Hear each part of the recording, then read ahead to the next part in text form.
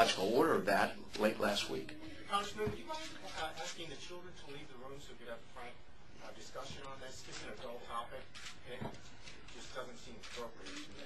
Well, I'll take your questions. I'm not going to ask any of my uh, supporters to leave. Who are these children, Congressman? I'm sorry, as you know, I have a hearing problem. I just need one at a time so I can hear. Who are the children, Congressman? Who are these children? Pardon me? Who are these children? Well, there are a number of them from the community. There's uh, several of the uh, 30-somethings that are here that uh, uh, I've known them and I've known their children as they were born. Do you think it's And, appropriate uh, for them to be listening to this subject matter, though? Uh, sir, I'm happy to answer your questions. I would still uh, Congressman Reynolds.